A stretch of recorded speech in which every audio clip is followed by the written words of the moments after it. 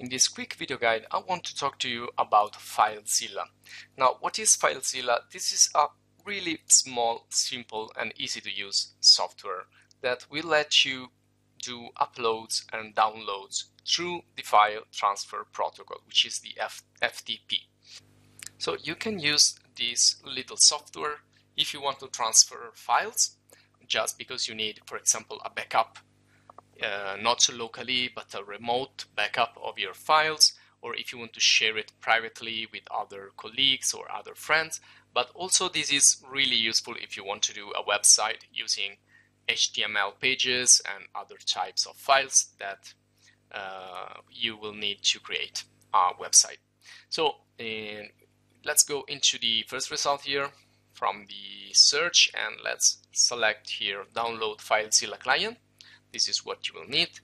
And again click here and you have different types of uh, packages here but you will need just the first one to do these uh, basic operations. Now you can use FTP standard and also secure FTP you can use both. So I will click here into the download button and this will download my uh, there you go. These are all the steps you need to do. And you will find then the the FTP downloaded into your download folder right here.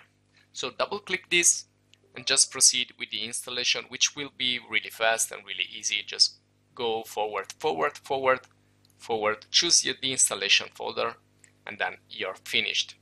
Now once you do that you, it's gonna open automatically and so I already installed it so I won't do this again but uh, then you will find it in your start menu right there. You, you can open it in many ways here. You can just type also down here FileZilla alright now you can see it's already opened up and running. So what, what I'm doing right now it's downloading because I want to create a backup of my web of one of my websites. So uh, this particular website uh, was built in WordPress, was developed with WordPress, which is a CMS, content management system. And every single CMS has its own structure, which is based on uh, web pages, PHP codes, and other stuff here. So thanks to this tool, I can see the backend of my website. So I can see how it's composed, what uh, the files what are the uh, folders and everything else. So I can get into my backend. I can see the backstage basically of my show, which is my website. So how it is structured, how FileZilla is um, organized. It's pretty simple. It's uh, really, really simple. You have this uh, right part here and this left part. So the left part it's the local site. So it's basically what you are seeing into your computer. And probably you will have a copy of your website into your computer where uh, you want to make changes or maybe tests or things like that. Or again, if you are using this just as an online storage, as a cloud solution, you will just have like a copy of your project or whatever.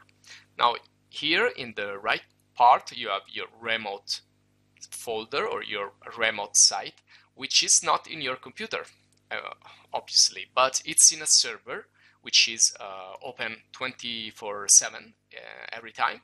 And this is useful because otherwise your website would turn off in a certain time of the day, while in this case it's gonna be uh, up every time, it's gonna be online always, and this is thanks to a server that it's always on. Uh, well, you can also become a server provider if you wish, but it's another story. So probably you have you pay someone, you pay a service to give you the online space and uh, eventually also, also the domain. So in, if you want a website, you need you will need the domain and the space. You will need two things. You will need to buy two things. Otherwise, if you just want to use this as an online storage, you will just need the space and there are a lot of providers out there, either for the webs if you want to do a website or if you want to just create an online storage. Now, in both uh, ways, this is pretty useful because we can use it as a backup. We can use it uh, to publish things on the web. We can use to share things on the web and so on. Now, uh, the things that you need, uh, at, at first you will only see the local side here of the um, of your uh, project because you will not be connected right away when you first open up FileZilla. So the first thing you need to do is to set this top bar with your username, which is kind of a email. So you're gonna set there your username. You're gonna set there your FTP, which it's like your website, similar to your domain, but instead of www, you're gonna insert FTP. And also you will need your username and the password to access your service, your uh, web space service. Sometimes you also need a port, but not every time. So once you insert all this information, you can say, you can click on connection. This is in Italian, I've just realized, but it's pretty um, uh, easy to understand. So you connect. Once you connect, this right part is gonna appear. So otherwise, you you won't you won't see anything here. Now you have everything um, all the information right here at the top that can give you information about your connection. And what else?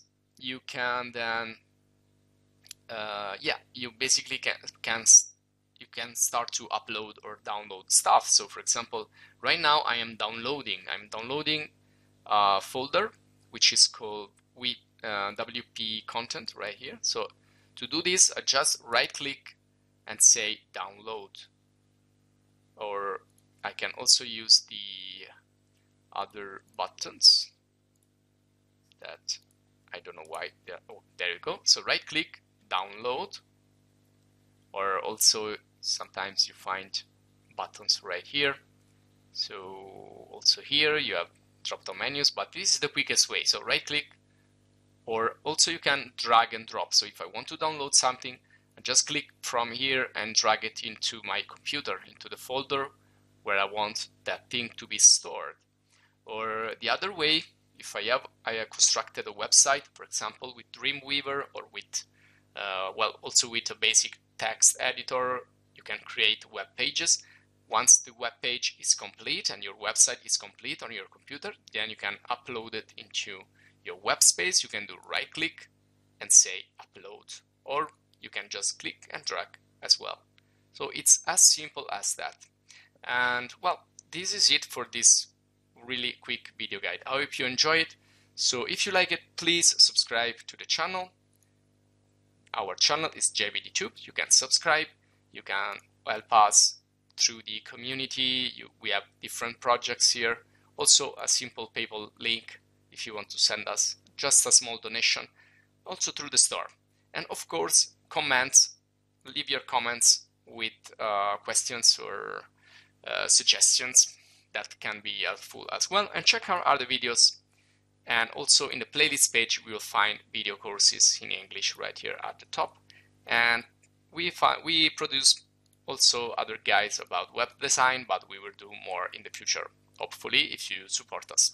So thanks very much for watching and see you in the next video.